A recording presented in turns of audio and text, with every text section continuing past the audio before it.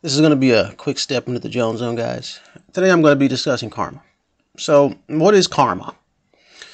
According to the Eastern mystics, is what I'll call them.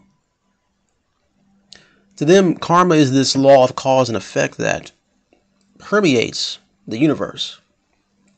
So, in other words, if somebody does something to you, then something should happen to them. If you do something to someone, then something in turn will happen to you. And it doesn't matter if this action is good or bad, you just receive some kind of feedback. So if you're a generous person who likes to give, then someone should give back to you. Right? All right, well, let's look at Galatians chapter 6, verse 7. Do not be deceived. God is not mocked.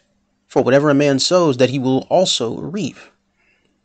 For he who sows to his flesh will of the flesh reap corruption, but he who sows to the Spirit will of the Spirit reap everlasting life. Okay, so you could say karma is a law, but it's really more of a promise from God. Whatever you sow, you will reap. It's not some sort of automatic law of cause and effect that is independent of God.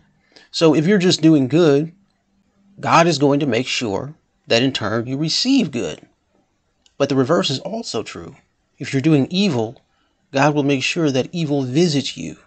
God is a person. He's not some law permeating force in the universe. God is doing this. All right, y'all?